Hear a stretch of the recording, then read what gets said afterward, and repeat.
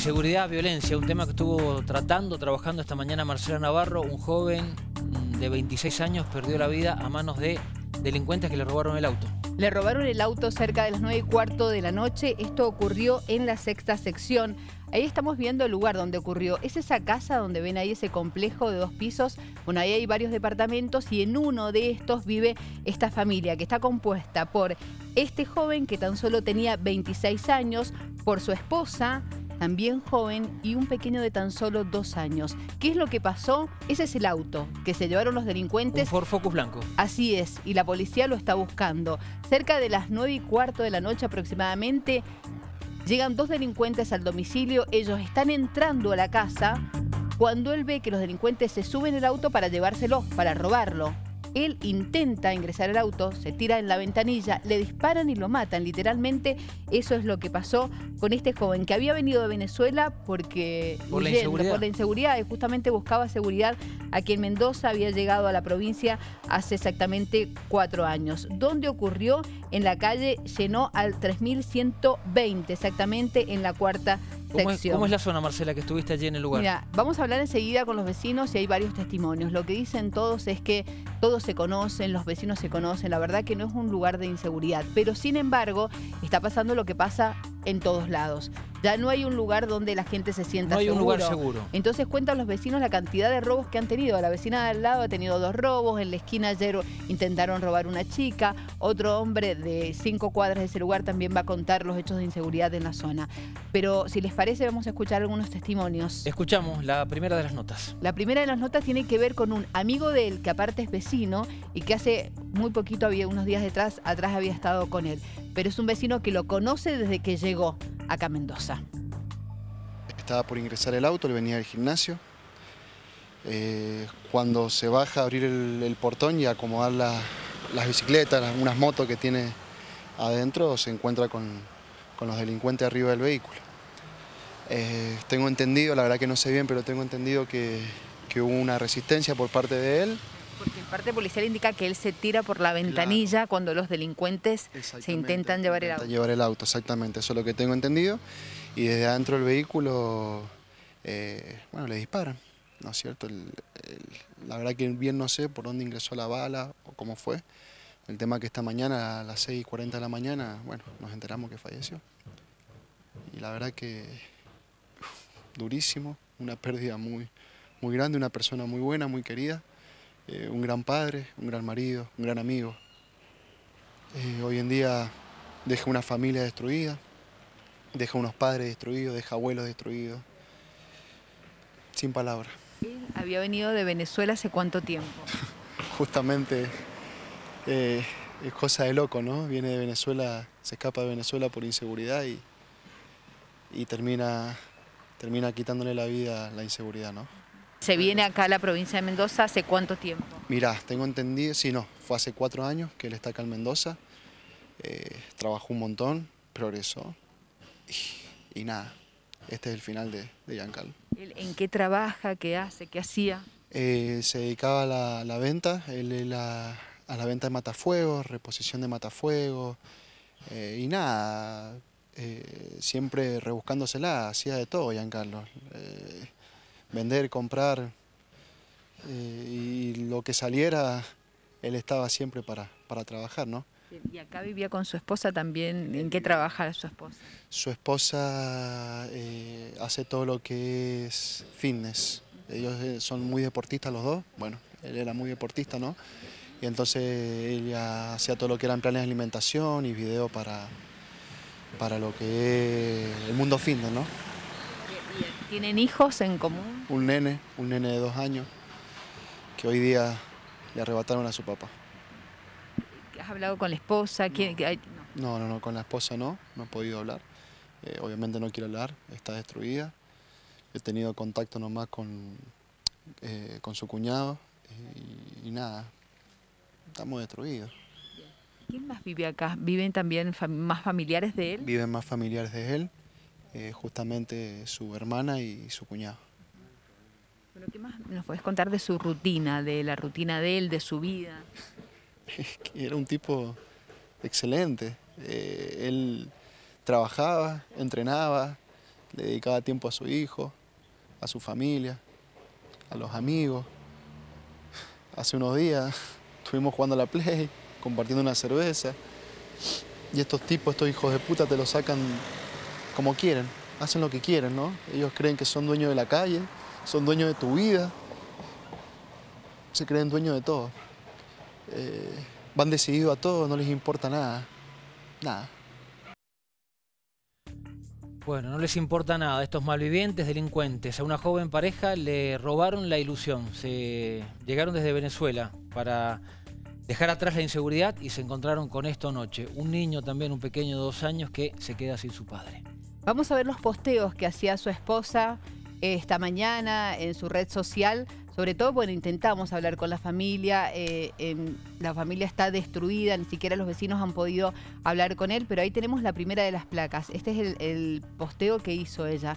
Vuela alto mi vida. Es el, primero que vemos. El mensaje que ella ha dejado eh, o difundió en las redes sociales. Eh, el mensaje de la mujer eh, con todo el dolor que significa posteando, tratando de escribir algo en las últimas horas. Mirá lo que dice este, a todos los amigos que siempre estuvieron ahí para Giancarlo, ayer 2 de marzo fue víctima de Lampa. Lo asesinaron para robarle su auto, le costó la vida defender su trabajo y esfuerzo. Yo solo pido fuerzas para vivir sin ti, para pasar este dolor tan grande. Siempre serás el amor de mi vida y mi mejor amigo. Gracias por dejarme lo mejor de ti y un hijo maravilloso. Y vamos con el último que tenemos también, que escribió eh, hace un ratito eh, la mujer de Sosa. Y, ella acá cuenta que esto me lo enviaste y, tenés toda la razón, dice él. El final con alguien es cuando lo olvidás y nosotros siempre estaremos juntos en nuestros corazones. Y fíjate que abajo está el posteo también de lo que él había enviado que era trátense como el principio y nunca habrá un final. Y luego de estos posteos vinieron fotos de recuerdos con él. Por ejemplo, eh, fotos de él durmiendo con, con su niño, eh, fotos de ellos juntos, fotos de vacaciones en la playa. Hizo, hizo varios posteos en su red social.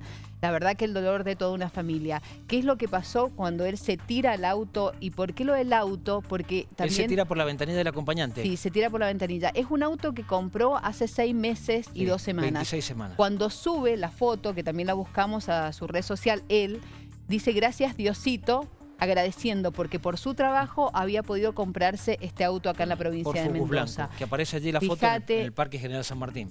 Y fíjate que después, que es la que veíamos recién, fíjate que después por defender ese auto lo terminan matando enfrente de en su casa y frente a su familia. Ese es el auto que había logrado comprarse con el fruto de su trabajo hace seis meses y finalmente por defender eso lo terminan matando. Fue un crimen, bueno, todos los crímenes son aberrantes, pero este, digamos, a sangre fría le dispararon sin mediar, sin pensar, sin decir, bueno, no, lo empujo, me llevo el auto, no, lo mato, le dispararon, inmediatamente ingresó al hospital con herida de arma de fuego a la altura del pecho, costado izquierdo, con edificio de entrada sin salida, entró estable en el hospital central, pero finalmente murió a las 6 de, la, mañana, Como le decía su amigo. Eh, algo fundamental, Marcela, también.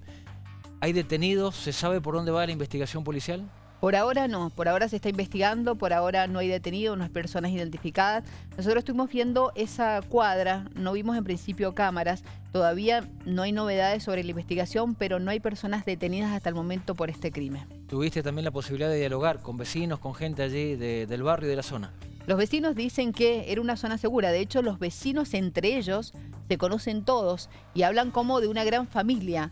Dice, la mayoría de la gente que vive en esa cuadra son personas que han vivido toda la vida ahí, que se conocen desde hace muchísimos años y la única pareja como más joven nueva es esta. Lo que pasa es que este, este tipo de delito, este estos hechos de inseguridad, los delincuentes han estado dando vueltas. Cuando han visto el Ford Focus, blanco parado en la puerta porque él dice que llega del gimnasio, entra a la cochera para correr una moto y poder ingresar el auto. Cuando él sale de la cochera, luego de correr la moto para que el auto eh, pudiera ingresar, él ya los ve adentro del auto. Y ya era tarde para tratar de impedir el robo del auto, cosa que finalmente logran los delincuentes. Eran las 9 de la noche. Uno, uno piensa esto, ¿cómo puede estar pasando esto donde sea? Porque pasa en cualquier lado eh, y pasa. La verdad que triste. Si les parece, vamos a escuchar el testimonio de los vecinos, quienes nos contaban sobre el dolor que tienen por la pérdida de este vecino, querido, porque si bien hacía cuatro años estaba ahí muy querido en el barrio, decían qué buen padre que salía con, con su niño, se lo veía eh, muy familiar, digamos, ellos siempre juntos en familia, y cuentan cómo han crecido los hechos de inseguridad en la zona. Lo escuchamos. Muy trabajador se ve el chico muy buen padre porque salía con su hijito siempre. Así que es lo único que puedo decir porque no, no he tenido contacto permanente con ellos. Bueno, ¿qué piensa de lo que pasó? ¿Cómo es la zona? Yo estoy solita y tengo un miedo que no sabes cómo, porque ya me entraron a mí dos veces.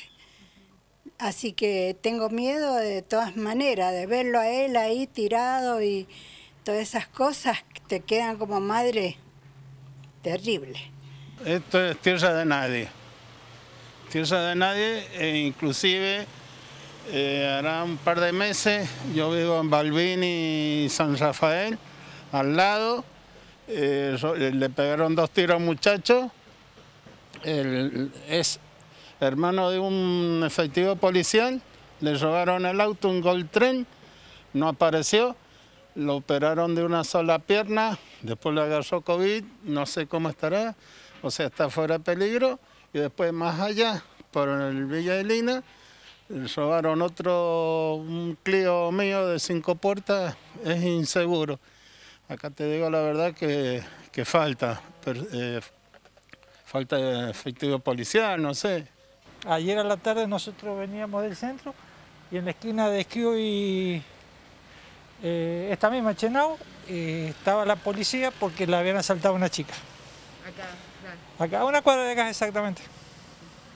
Entonces, bueno, este, eso todo. ¿Usted lo conocía hace mucho al chico? ¿Hace cuánto que No, éramos vecinos, ellos habían llegado hace poco, así que va de hola, ¿qué tal? Y nada más. ¿Qué no. puede decir de lo que pasó, de lo que vivió, de la inseguridad? hemos, estamos eh, muy consternados porque este era un barrio tranquilo muy tranquilo, tal es así que los vecinos nos cuidamos entre todos, pero bueno, ahora ha quedado gente toda grande. Entonces vienen los chicos y ya uno tiene miedo. Yo generalmente cuando salgo jamás dejo el auto en la puerta, si tenga que abrir el portón cuatro o cinco veces. Entonces, bueno, se ve que lo han estado siguiendo, vaya a saber. Y lo que sí necesitaríamos acá sería periódicamente que pase un patrullero periódicamente, no digo todos los días, pero sí que pase la policía, que eche una mirada, que controle, que mire.